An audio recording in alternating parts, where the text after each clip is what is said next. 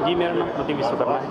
प्रदीप जी क्या कहना चाहेंगे? जिस तरह से आज यहाँ पर इस कार्यक्रम का आयोजन किया गया है तो आपके नेतृत्व में किया जा रहा है तो किस तरह का कार्यक्रम होगा और यहाँ पे कहाँ कहाँ से लोग मौजूद होंगे? यहाँ तो बहुत दूर दूर से लोग आए हुए हैं और अपना ध्येय है कि पार्टी का विकास पार्टी का संगठन और जो पिछड़ा वर्ग है उसको आगे लाना। तो जिस तरह से ये पार्टी यूपी में बात करें बहुत एक मज़बूत पार्टी है लोगों में काफ़ी चर्चित पार्टी है तो महाराष्ट्र में जिस तरह से इस समय नेताजी भी आपके अगर बात करें तो वो भी यहाँ पर मौजूद रहे और उन्होंने भी एक रैली की और जिस तरह से महाराष्ट्र के जो प्रदेश अध्यक्ष हैं उमा शंकर जी भी मौजूद है आज।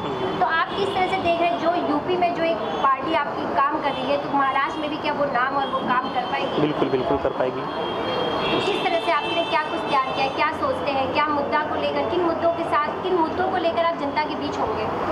मुद्दा हमारा एक ही है कि जो पिछड़े वर्गों को जो आरक्षण है ठीक है उसको अपना बढ़ावा देना है पिछड़े वर्ग को आगे लाना है।